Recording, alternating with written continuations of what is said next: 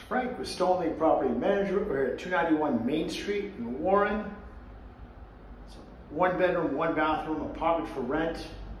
Starting our video tour right when you walk in. Mudroom area here. Brand new flooring throughout. Living room, very spacious. Ceiling fans, fresh paint. To my left, you got the bedroom. Could fit a queen set. Decent sized closet there. Open floor plan.